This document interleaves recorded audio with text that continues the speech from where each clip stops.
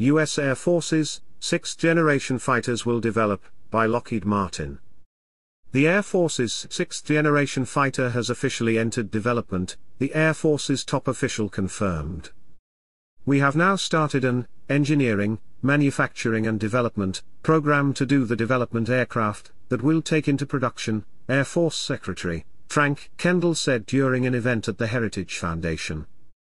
Due to the classified nature of the design effort, Kendall provided few details about the manned sixth-generation fighter that is set to be the centerpiece of the Air Force's so-called next-generation air dominance family of systems, which will also feature new weapons, sensors and a variety of drones that will tag-team with the new fighter.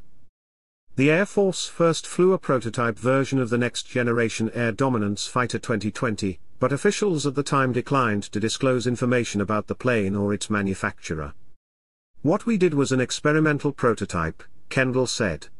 We basically had an FX plane program which was designed to reduce the risk of some of the key technologies that we would need for a production program. While Lockheed Martin, Boeing and Northrop Grumman are all possible contenders to build the sixth generation fighter, Northrop's current workload producing the B-21 bomber makes it an unlikely choice to develop an advanced fighter, Aerodynamic Advisory Aboulafia said.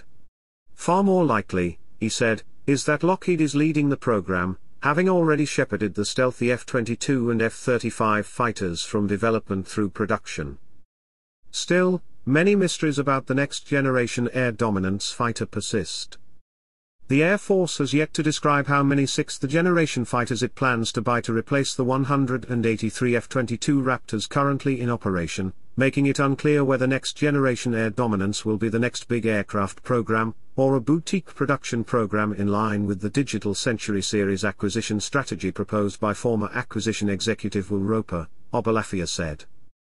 Another big question raised by Kendall's acknowledgement that development has started, what companies will be responsible for the engines, mission systems, sensors, weapons and other equipment inside the plane.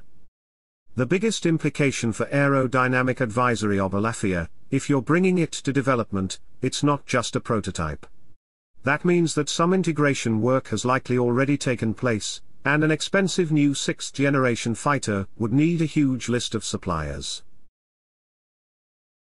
Thank you for watching please like, share, comment, and subscribe.